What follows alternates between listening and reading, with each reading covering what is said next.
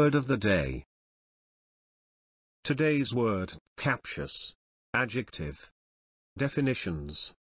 Definition 1. Fault finding, tending to take notice and make much of minor faults, or defects. Definition 2.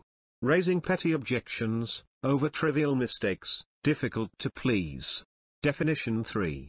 Someone who is captious, is prone to make criticisms, over small matters, or errors.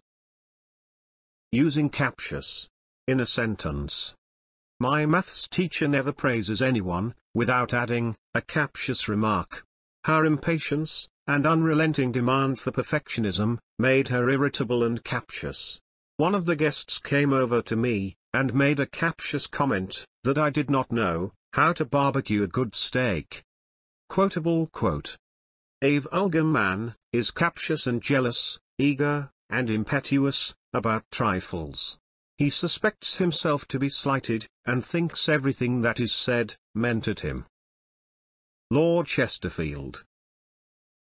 The story behind the word. If you wondered whether captious is related to capture or captivate, you're right. All these words come from the Latin word capere, which means to take or to capture.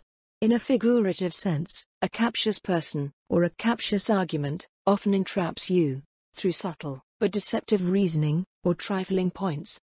A captious individual is hypercritical, whose objective is to corner you, by pointing out your mistakes, no matter how small, trivial, or irrelevant they are.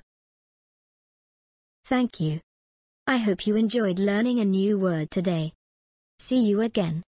Please don't forget to like, comment, share, and subscribe to our channel.